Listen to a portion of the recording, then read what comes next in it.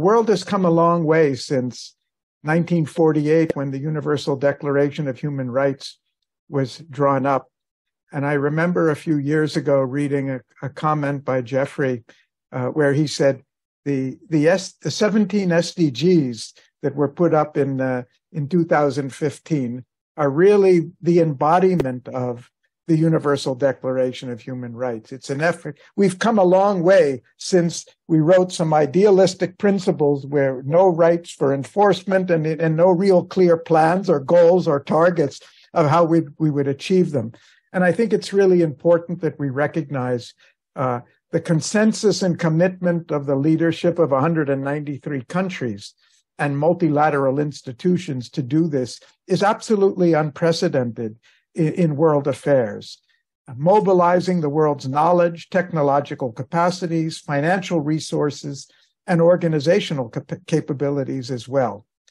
And yet, there's a sense, a, a, a, growing sense that somehow we're falling behind. Somehow uh, we haven't, we're not doing enough with all the tremendous efforts that the SDSN network and so many institutions and so many national governments are doing.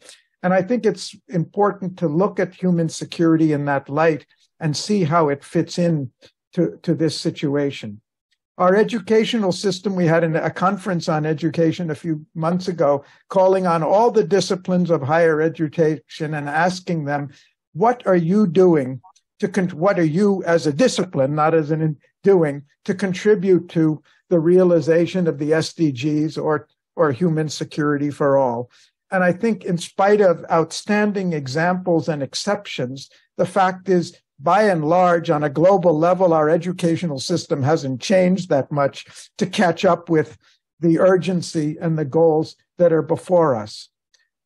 We have many citizens in the world, too many citizens in the world, including educated ones who've never heard of the SDGs, or if they've heard of them, they wonder what does that have to do with us or me? Uh, that's not my uh, my role.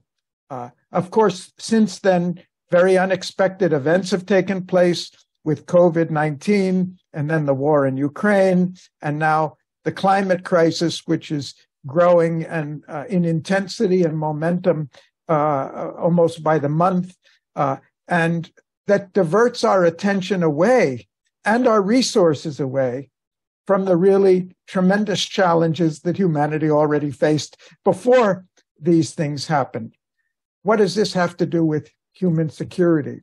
I think it's interesting to note that at a time with unprecedented economic development in the world, unprecedented technological advances in the world, there seems to be a growing sense of uncertainty and even a growing sense of insecurity at a time when, by many parameters, in spite of the, the local dislocations, uh, overall parameters are more positive than they've ever been before. And we've made a lot of progress on the SDGs, on many of them, even if it's not as much as was expected. And I think that's important because it highlights one of the dimensions of human security. Human security doesn't just depend on the objective quantitative measures uh, at the macro level.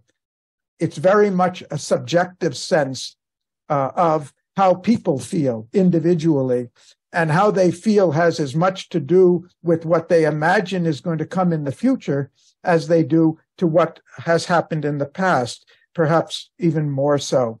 So the question for us is a question that the academy is asking in this in the uh, in the human security campaign is what more can we do to build on the tremendous efforts, unprecedented efforts that are being taken?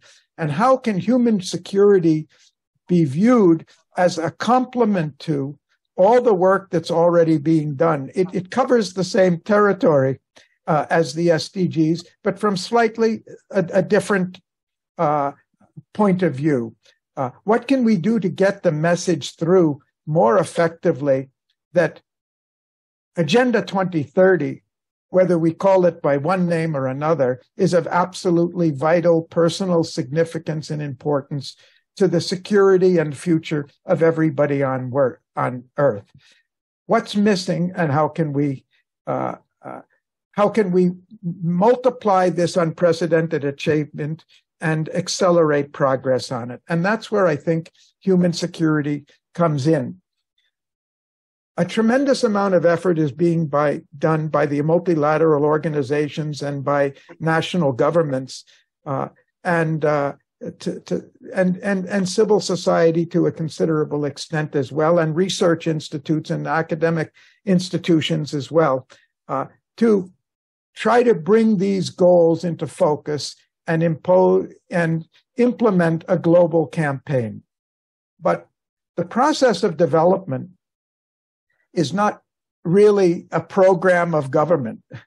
The process of development is a, an action of the whole society.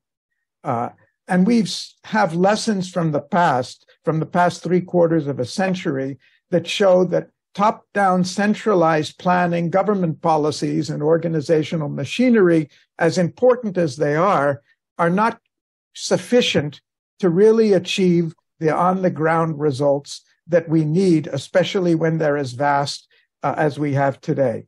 And we have the example of what it means when the society as a whole can be actively mobilized uh, to work for global social goals. We saw during the time of the East Asian Tigers of how they developed so rapidly because they succeeded in engaging the whole society in that effort. China in recent decades has done remarkably in turning from just a top down, but to also trying to release the energies uh, at the at a bottom up also.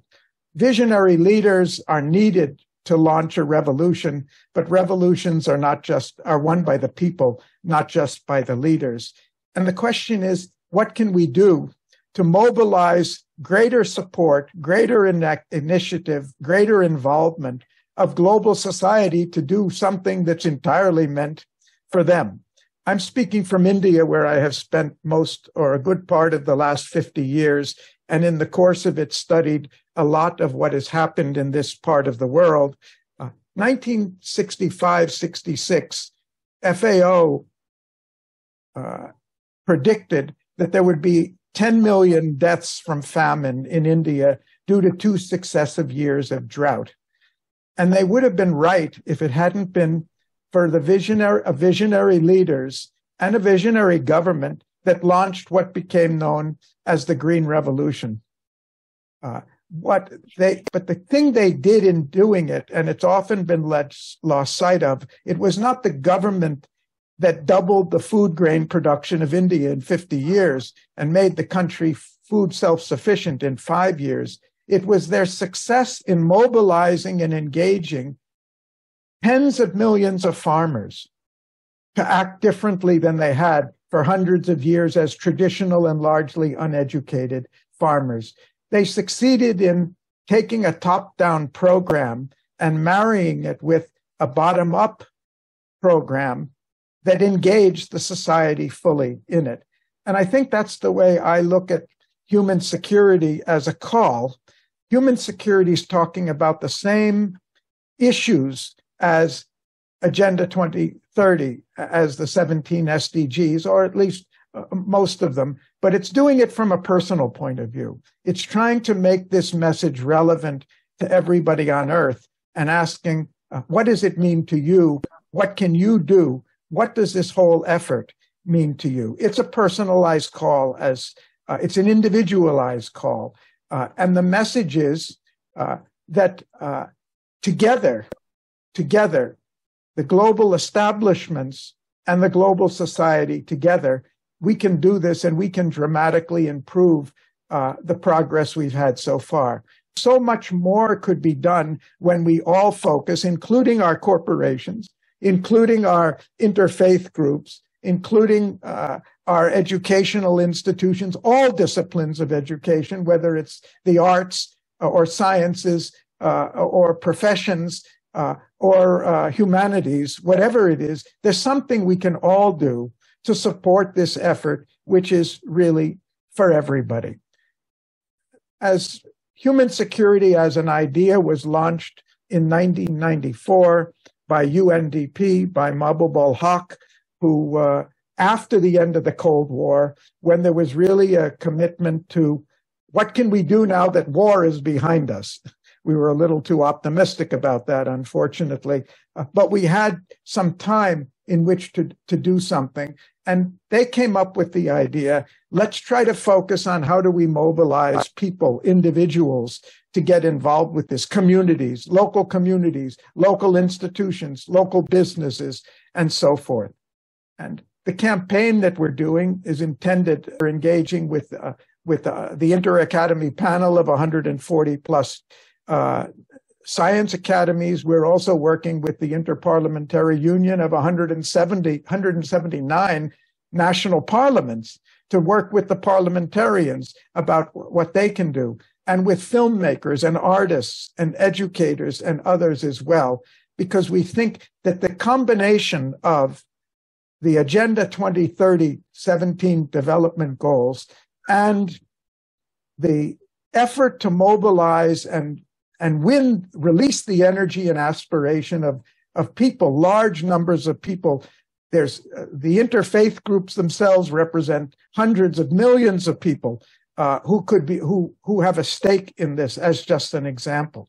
So I think the question before us is really an important one, and that's my reason for starting off here rather than talking about the measurements. Human security adds some complexity to that because it's human centered, because it's person centered, because it's contextual, uh, because it's trying to look from the perspective of individuals.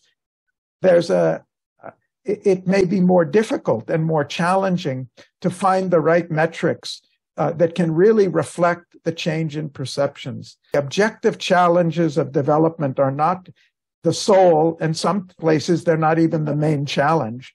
The real challenge is getting our society together. The kind of polarization we see in many countries, especially my own, uh, uh, uh about uh, the uh, between groups that are fighting between themselves, the sense of that we're working together the sense comes only when there's a sense of trust and security. And we, our institutions seem to be losing that trust and security at a time when it's absolutely vital uh, and essential uh, to do that.